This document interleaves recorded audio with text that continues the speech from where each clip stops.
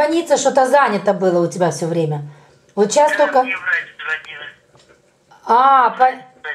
а, Как, пон- как там, как там мой наследный любимый внучек? Твой внучек наследный учится хорошо, на саксофоне, на саксофоне играет.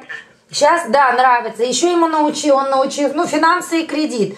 Ему нравится, потому что папе нравится, потому что папе нужен помощник. Понимаешь? Это его дело. Произ- производство. Доча, как ты себя чувствуешь? Я чувствую себя хорошо. Сейчас вот перерывчик небольшой. Делаю эти голубцы и думаю, что ты туда вкусного кладешь. Мне твои голубцы всегда вкуснее казались. Слушай, я так, я сегодня ночью не могла спать, сердце было плохо. Я Да ты- села и изготовила казан голубцов в три часа ночи. Ты представляешь, а я сегодня начала готовить. Что так захотелось голубцов, наверное, ты обо мне думала. Я немножко, я немножко качанчик, а, а- а это самое, прокипятила, потом, значит, эти листочки, а фарш такой. Сначала берешь э, глубокую сковородку, Да. слегка обжариваешь на сливочном масле луковицу мелко-мелко нарезанную. И на терку натираю две-три больших морковки, чтобы моркови было очень много. Тогда будет вкус хороший. Это одесский метод. Очень много моркови на терку, на лук. Понятно. А еще, а еще, а что еще? Вот сначала лук слегка, а и много-много моркови. Оно немножко тушится, я подсаливаю и добавляю туда укропчика, если есть сухой укроп. А у меня приправка с укропом. И с укропом и с мятой добавляю. Потом рис не, не, не надо сильно разваривать. Слегка его поварить слегка рисом. И потом туда фарш кладу.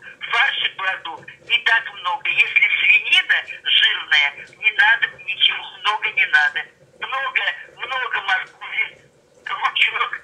Понятно. Укроп, петрушечка, э, мята у меня, мята, мятная приправка у меня прямо. Я попросила, чтобы мне принесли приправки. Она принесла и говорит, это укроп, а это оказалось мята. И вкус очень хороший. Ага. Да, надо добавить, надо попробовать. Я такой первый раз. Ты видишь как? Вот так вот. Ага. И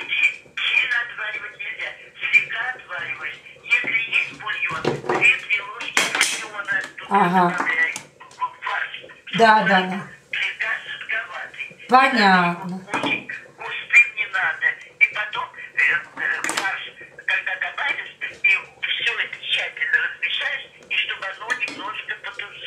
Ясно. А я у тебя кушала голубцы, были очень вкусные, и что ты туда добавляла травки, у тебя были Да, да, да, да. Я всегда добавляю все подряд травки, которые вижу, я все туда кладу. По-моему, там был чебрец. Да, чебрец был. Да, чебрец был. Это точно. На терке. Ясно, я поняла, мамочка. Как ты там? Ясно.